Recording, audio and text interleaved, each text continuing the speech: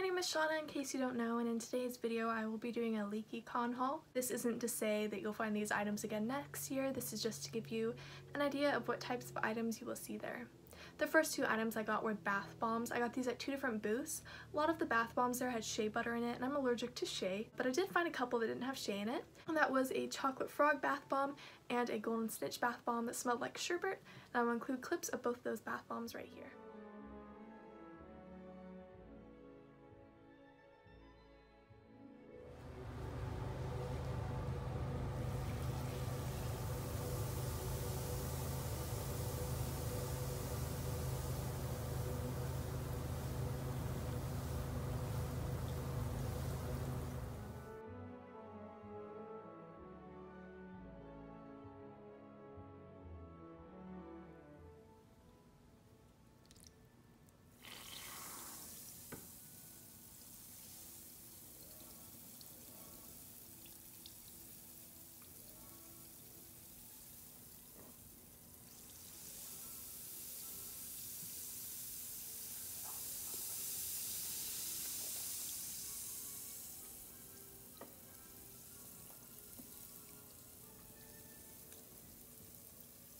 I'm going to try not to make commentary on the actors that I met, but I will show you the photos really briefly. I did meet all of the actors that were there except for the ones from Team Star Kid. So I got photos with all of them and a couple I got autographs and I will be doing later videos on what it was like to meet them. I'm sorry if I pronounce these names wrong, I'll just say them the best I can. So this is a picture of my friend Annie, Scarlett, who plays Pansy, and me as Harry Potter with his Christmas jumper and that is a really awkward pose, but I'll explain why in a future video. And this was the photo I got on the last day. I was dressed as Hermione, and that is with Stan Stanislav Yanovisky. I might be pronouncing that wrong. He played Viktor Krum. And then here's the picture with Alison Sudol. I was just dressed as a Hufflepuff student without my robe. There's Alison who plays Queenie, and there's Annie. And I got this one signed. This is a picture of me and Chris Rankin, who plays Percy Weasley.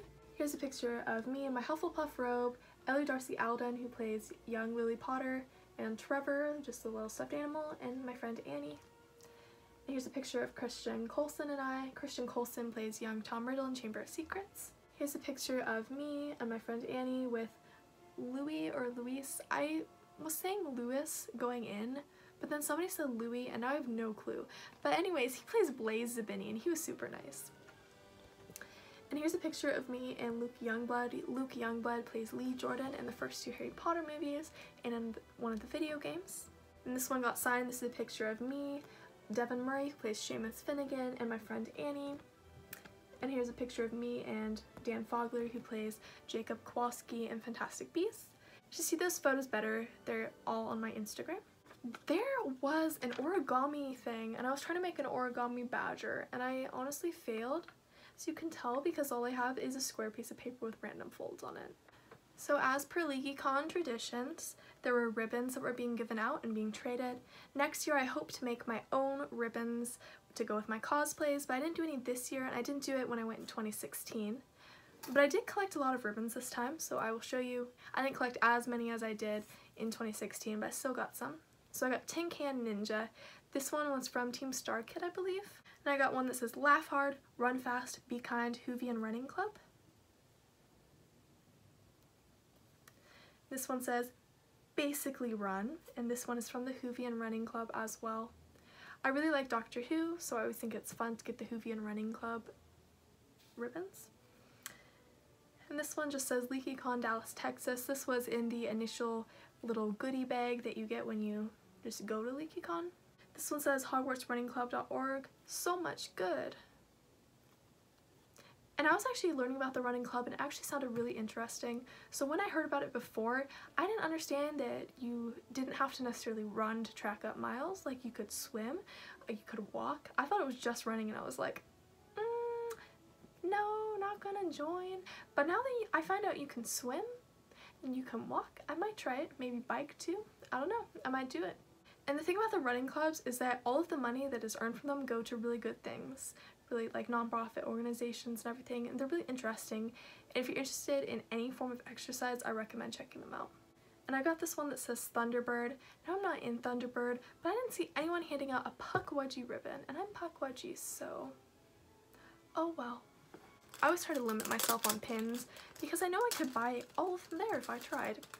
So I just got one pin and this is from Oddment and Tweak. Their Instagram is at Oddment and Tweak and their website is oddmentandtweak.bigcartel.com. So I got a little mandrake with a pot and there's a little crack in the pot and you pull it down and he is right there. I thought this was cool. I try and limit myself to ones that are more abnormal that you wouldn't find very much because if I got every pin that I wanted I would have all the pins and that would be bad. My mom got me an Ilvermorny shirt. I have no Ilvermorny merch so it's really nice to get one. This is what it looks like. This is a woman's fit but that's okay. I generally like men's fits a little better just because I like them a little bigger on me. I'm still really glad that I have Ilvermorny merch now.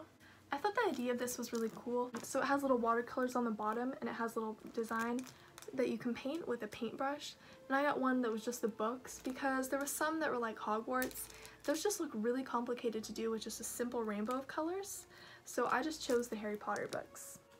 So as I said, the goodie bag um, that came at the front, it came in this when I went to LeakyCon before, it had a tote bag with like actual fabric, but it was just plastic this year. But that's okay, it's still cute. And it came with schedules for the weekend. So there was Friday, which was red. There was Saturday, which was blue. And there was Sunday, which was purple. And then it also came with a booklet that had all the guests in it. And there was space for autographs, although I didn't get autographs in this book. There's a map, there's terminology, there's presenters information, there's staff, uh, there's some place for advertisements. It's just a really handy thing to have. There's also this LeakyCon sticker which looked like a golden snitch. That was free in that goodie bag. And also in the goodie bag there was a purple LeakyCon pen. I have a LeakyCon pen from 2016 but that one was green, but this one's purple so that's pretty cool. And the final thing from that goodie bag is just a little card saying the locations next year. So Dallas, Texas, August 9th through 11th, and Boston, which is October 11th through 13th. I will be going to the Dallas one again next year. It would have been nice to go to Boston because I've never been to Boston, but it's during the school year and I just don't know what my schedule for classes will look like in 2019, so I thought I might as well just get the Dallas tickets again. So there's this place called Not Topic and they have an Etsy as well as just a normal website. They had a lot of stuff from both Harry Potter and Supernatural. This is its pamphlet. This is the back of the pamphlet. And my mom got me a shirt from there. And this shirt is Hogwarts School of Hunting. So it has Sam as a Ravenclaw, Castiel's Hufflepuff, and Dean as a Slytherin. Now I actually really agree with the sorting of these characters. I do understand why some people would think that Sam would be in Slytherin just because some people think he's evil, but if you actually think about it, Sam reads books. He just straight up just does all the research, so he's more like smart and more devoted to like studying and figuring out what's going on with the issue. Castiel is an angel. Uh, he is more about like helping people and saving the world so that makes sense that he's in Hufflepuff. And Dean is really ambitious and he really gets what he wants no matter what it takes. He makes sure to save Sam nonstop no matter what. So it makes sense that Dean would be in Slytherin. This is what the LeakyCon badges this year look like. It just had LeakyCon with a purple um, tab and it said the date and the location and there were stars on this little lanyard part and then I just had a general pass so it looks like that. So I finally got my hands on the Storybook Cosmetics Harry Potter wands. These were $10, which I don't know how much they normally are. Let me pull them out. I sort of don't want to use them because I don't want to hurt them or anything because they're so amazing. I don't know what each makeup brush is used for, I just know that I have a lot of eyeshadow palettes and not enough brushes, so I got this. So there's this one, and this one I believe is supposed to be Ron Weasley's wand, although I'm not 100% sure. And it's angled a little bigger at the end. This one is Lord Voldemort's wand, as you can see by the end right there. This one I believe is supposed to be Harry Potter's, although the end right here doesn't look quite like his, but that's an interesting little brush right there. Here's Hermione's. And I'm sure there's tons of pictures of these all over the internet, so I'm sorry that I'm having a hard time getting the lighting to show them. And last but definitely not least is the Elder Wand, otherwise known as Dumbledore's Wand. And with that place, not only did I get the wands, but for every purchase on the Friday it came with, a free golden snitch bracelet. So that is pretty cute. So it's just a little golden snitch with wings. It looks pretty small, so I don't know if it'll fit my wrist, but it's still really cute and dainty. So I don't know about you, but I have an obsession with glass jars. And unfortunately, the one I got leaked everywhere when it was on travel. Oh, ew, it's everywhere. I don't know what was in this. Jeez. I also didn't want to get just a generic one that I felt like I could make at my house. I wanted to get one that was unique, that I'd never seen before. I got Umbridge's Veritaserum tea, and it has a little cat charm on it. I'll show you after I get this off. Okay, the ribbon is all wet and dirty, and it's supposed to be tied right there. See, it's supposed to be tied, but it's all wet and dirty. And the cat is covered in sticky stuff. Oh, see there's a little cat. It's Umbridge's Veritaserum tea. Surprisingly, not as much of the liquid spilled out as I thought it did.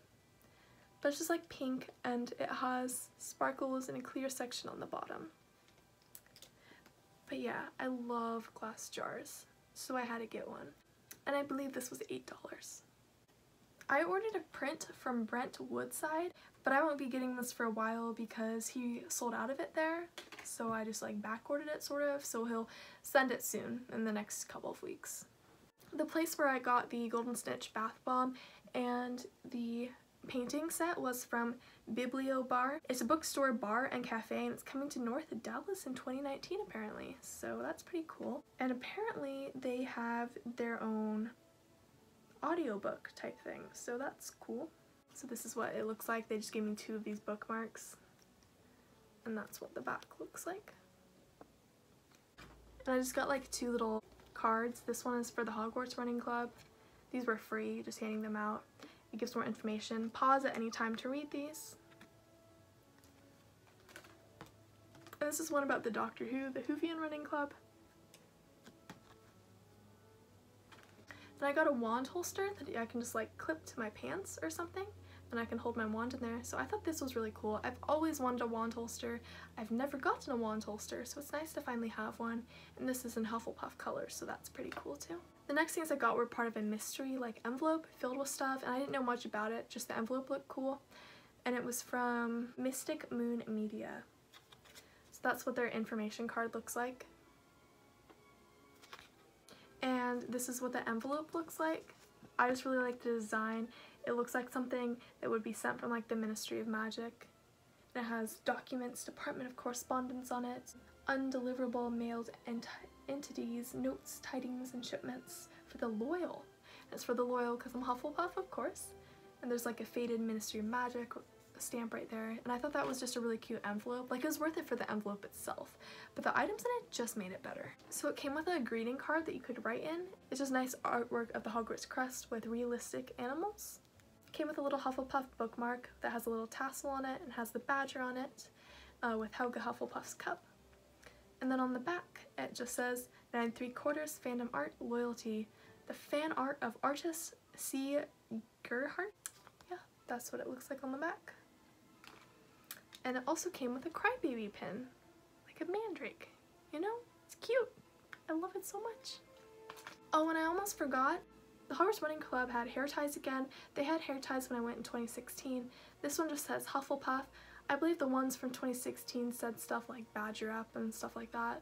So yeah, that's all I got for LeakyCon 2018. I will be going again in 2019, so expect another haul or more videos about LeakyCon. And for now, I will see you all in a future video. Bye!